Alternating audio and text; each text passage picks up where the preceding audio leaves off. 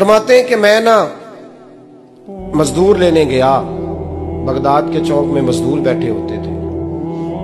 तो मेरी उन मजदूरों में से ना एक नौजवान बच्चे पे नज़र पड़ी। बड़ा कमज़ोर सा वजूद था, लेकिन चेहरे पर इबादत का निशान था। माथा बताता था कि नमाज़ का बड़ा ख्याल रखता है। मैं उसके करीब गया। चेहरे भी बड़ा कुछ बताते हैं ना। चेहरों में भी बड़ी रानाई होती। फरमाते मैं करीब गया। मैंने उसको कहा, बेटे, मजदूरी करोगे तो? कहने लगा, मजदूरों में बैठा हूँ तो ज़रूर मजदूरी के लिए ही तो बैठा हूँ। तो मैंने कहा कि, चलो फिर। कहने लगा, नहीं, मेरी कुछ शर्तें मैंने कहा, बताओ। कहने लगा, पहली शर्त यह है कि लोग चार दिन दिहाड़ी लेते हैं, मैं तीन दिनार लूँगा। मैंने कहा, यार बे तो बड़ी बेहतरीन है, बाकी भी इस तरह की रख ले।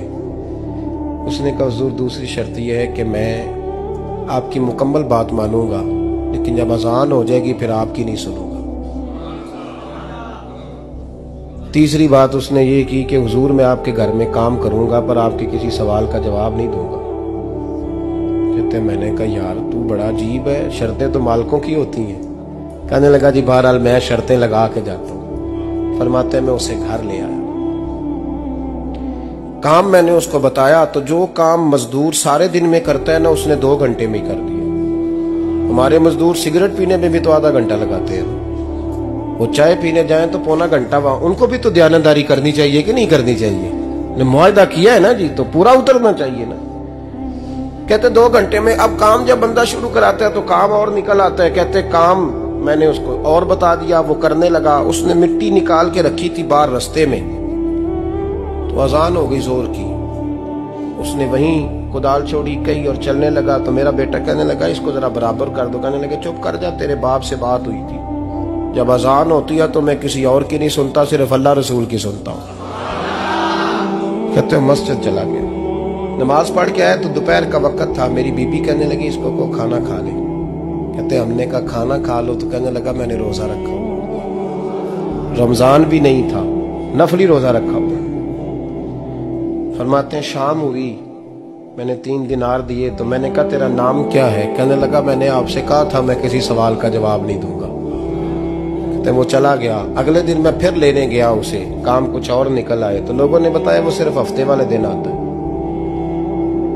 मैंने कहा, क्यों? कहने लगे, जी वो कहता है, मेरा हफ़्ते का खर्चा तीन दिनार है।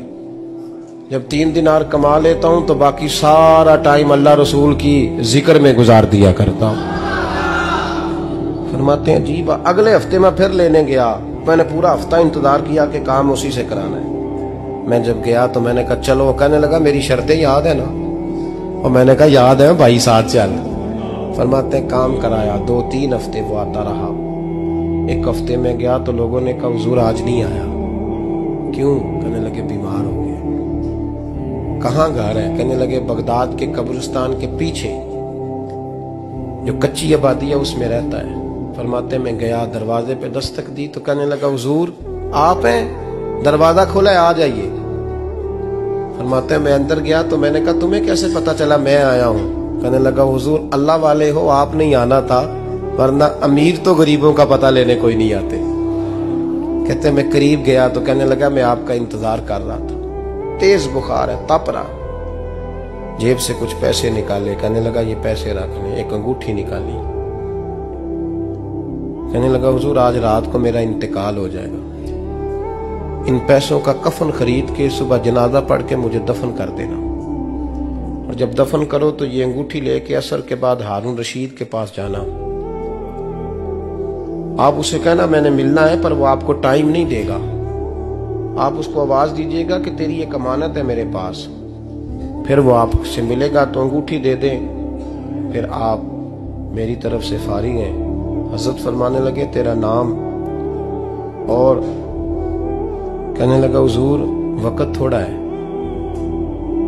आज रात मैंने जाना है। बड़ी लंबी माफ़ी मांगनी है रब करीम से।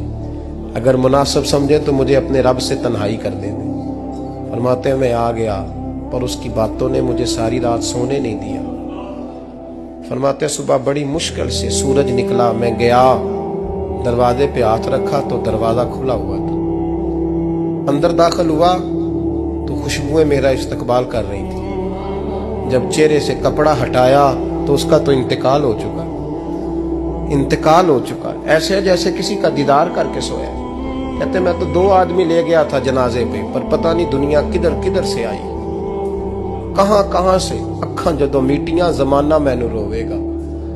अपना ते अपना, बेगाना मैनू रोवेगा। फरमाते हैं मैं तो दो बंदे ले गया था, पर पता नहीं मखलूक कहाँ कहाँ से आई। जनाजा पड़ा। दफन किया। हारून रशीद के पास में असर के बाद गया। मैंने बुलाना चाहा, पर बादशाह था मेरी तरफ़ देखा ही नहीं। मैंने उसको कहा, तेरी एक अमानत मेरे पास है। फरमाते हैं मुझे कोने पे ले गया। क्या बात है, कमरे में बुलाया, मैंने अंगूठी दी। हारून रशीद तो चीखे मारने लगा। कहने लगा, अंगूठी वाला कहाँ है? मैंने कहा, वो तो इंतकाल कर गया। कहने लगा, मुझे कबर पे ले चल। कहते, मैं कबर पे लाया तो वो लेट गया। तड़प के रोने लगा। मैंने कहा, मेरा कलेजा फट जाएगा, ना उसने कुछ बताया, ना तूने बताया, ये कौन था? तो हारून रशीद कहने लगा, ये मेरा बेटा था। मैंने कहा, तेरा बेटा और मजदूर? कहने लगा, हजूर, ये हज़रत दाऊद ताई के पास बैठा करता था। उनका मुरीद था।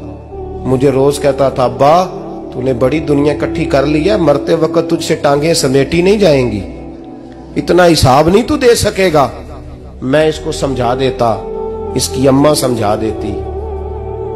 ये रोज हमें कहता, छोड़ दो, आ जाओ, अल्लाह रसूल की बारगाह में झुक जाएँ। हम समझ, एक दिन ये चला गया। कहने लगा, फिर तुम्हारा रास्ता और है और मेरा रास्ता और है। ये सोने की अंगूठी गलती से इसके पास रह गई। गलती से हीरे की अंगूठी चली गई। कहने लगा, देखो मेरे बेटे ने आज वो भी वापस कर दी है। फिर तड़प के कहने लगा, हारून रशीद था तो ये मेरा बेटा पर मेरा मुर्शद निकला।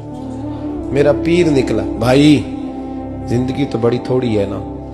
बाबा साहब ने कहा था, उठ फरीदा सुते आओ। और दाढ़ी आ गया पूर। अग्गा नेड़े आ गया पिछा रह गया दूर। उठ फरीदा सुते आ, खलकत वेखन जा। मते कोई मिल जाई बख्शिया तू ही बख्शया जा। उठ फरीदा सुते आ, झाड़ू दे मसीत। तू सुत, रब जागदा। तेरी डाढ़े नाल परीत मेरा रब हमें भी अपनी बारगाह में कबूल फर